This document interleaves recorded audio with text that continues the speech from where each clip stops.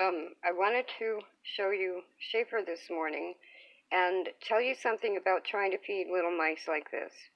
Um, they really need their mother. And um, he now thinks my white cotton gloves are kind of his mother.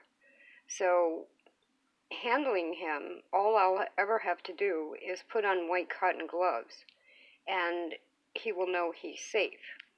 Now, I'm calling him he.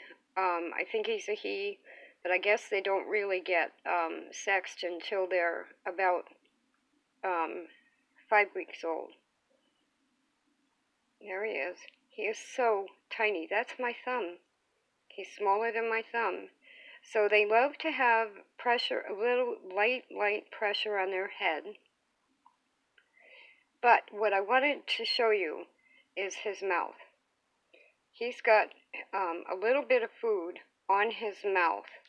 And the reason I'm showing anybody this is because you really have to take the tip of a syringe or an eyedropper and open his mouth gently and put it in his mouth. This is so foreign to them um, that he's just going to keep looking for his mother. So it isn't easy, and you have to be the responsible adult who knows that you have to get the food into the mouse. You can't wait for the mouse to say, I'm hungry, give me my food. Now, he's been hungry, and what he does is wander around the container, but he again went in the little water dish and sat there all night. I last fed him at about 1 o'clock in the morning.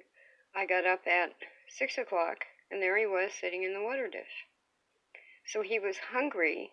He probably did take a drink, but he can't figure out um, He's just too young to figure out that if he opens his mouth, he'll have food. So I think he might even be younger than I originally thought. Um, the parents, after making their um, command performance the other night, have not come back now. They're avoiding the traps completely. So, life is fragile.